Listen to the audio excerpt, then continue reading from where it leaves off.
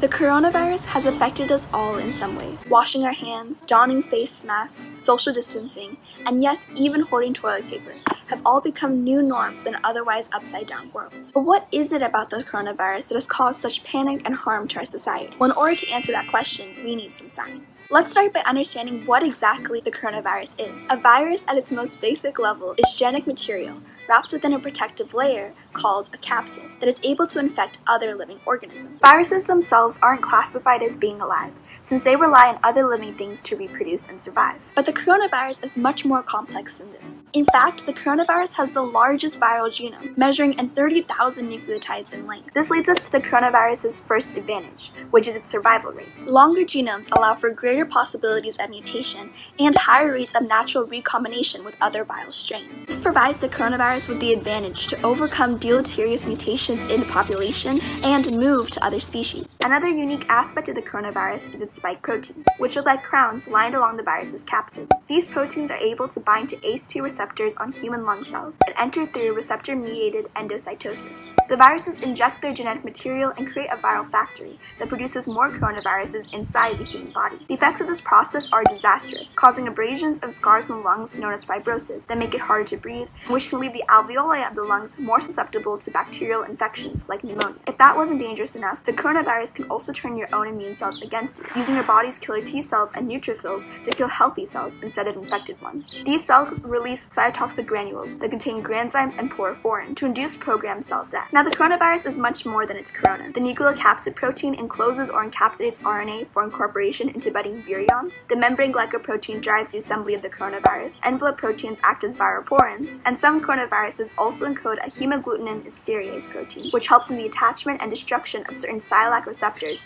that are found on the host cell surface. The only thing left missing from our coronavirus diagram is our spike proteins and our lipid bilayer, with the latter being made of hydrophilic, water-loving phosphorus heads and hydrophobic, water-hating fatty acid tails. Despite their complexity and range of function, the structural proteins of the coronavirus is only encoded by a third of its genome. Now knowing more about the coronavirus and what makes it so dangerous, we can understand why the precautions that we take really matter. Washing your hands is important because soap contains fat-like substances known as amphiphiles that are structurally similar to the lipids in the virus's membrane. The tail of the soap is drawn to the fatty outer layer of the virus and pries it open, which disrupts the chemical bonds that allow viruses to stick to our hands. When you cough or sneeze, tiny droplets from our airways can fly up to 30 feet. So by covering our mouths, we prevent inhaling the virus. Social distancing and quarantine plays a role in preventing the virus from jumping between populations and possibly mutating with each replication. But the toilet paper, that doesn't do much. The next time you're wondering why we take the steps that we do to protect ourselves and our communities, always remember that there's some science behind it.